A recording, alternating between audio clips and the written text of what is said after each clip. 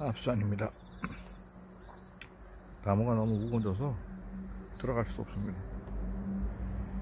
제가 여기 처음 왔을 때는 저산 밑에서부터 꼭대기까지 저 능선을 따라서 그 저 꼭대기까지 올라간 적도 간 적도 있고 반대로 이 밑으로 내려간 적도 있고 그런데 지금은 길이 아예 없어졌습니다.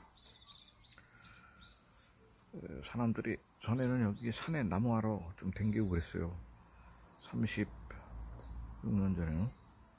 그런데 지금은 나무 한 필요가 없으니까 그냥 나무들이 우거져 가지고 지금 뭐 빽빽해졌죠. 빽빽해졌어요. 저 산 저기 저쯤에 할아버지 한 분이 운막가지 같은 걸 짓고 사, 사셨어요.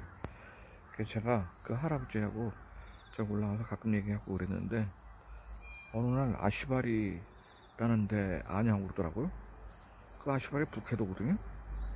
그거 어떻게 하시냐 그랬더니 자기가 아시바리 그 탄광에 징용으로 끌려 나왔을 때요. 그래가지고 거기서 한 뭐 5, 6년 정도 그 탄광에서 일을 했다고 하더라고요. 근데 한국 사람들이 꽤 많았는데 너무 고동, 노동이 심하니까 고생이 돼가지고 밤중에 숙소에서 탈출한대요. 그러면 아침에 인원 점검했을 때 그 탈출하면 그 사람을 그 찾, 찾지도 않는데요. 겨울에 탈출하는 사람 같은 경우는 그냥 한 일주일 기다린대. 그 탄광에 있는 일본 간부들이나 거기에 일종의 무슨 왜 공안 같은 그런 사람들이 그 일주일 정도 지나서 개 끌고 나가보면 불과 뭐 한 7, 8km도 못 가가지고 예, 눈 속에 얼어 죽어 있는 그런 시체를 예, 그냥 대충 파묻고 오고 그랬다고 하더라고요.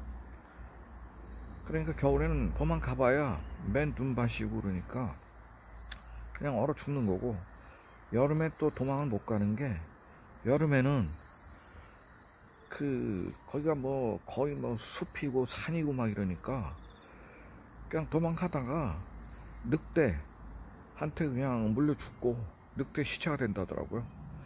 북해도가 굉장히 험하거든요. 그래서 그 얘기를 하시더라고. 그래서 아 징용 징병이라는 게 실제로 상당히 험한 일이었구나 그런 얘기를 들었어요. 그 할아버지는 저기 사시다가 얼마 있다 돌아가셨죠. 예, 그런 음악집이 저기 있었습니다. 저하고는 되게 친해서 제가 우리 집사람이 뭐 김치를 담거나 그러면 한 그릇씩 받아 드리고 그랬죠. 그리고 할아버지하고 그 음악집에서 밤에 또 같이 잔 적도 있고 얘기 들으면서 예, 그런 적이 있었습니다. 감사합니다.